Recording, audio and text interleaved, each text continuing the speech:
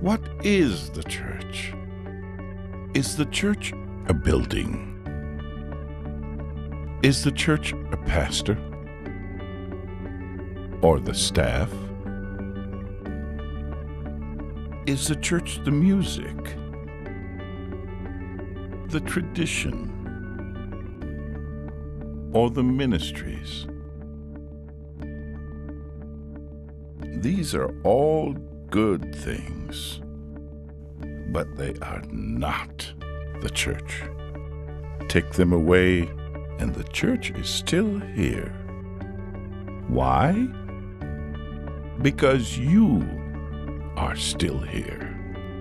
The church is you. The church is you with a purpose. The church is you on a mission.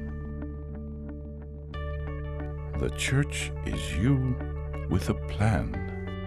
A simple plan to plug into God at a weekend service, to charge up in a small group community, to live out using your gifts and passions, and to pass on your faith to those who do not know Christ.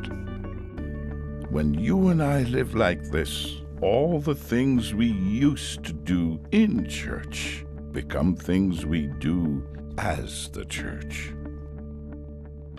God desires it.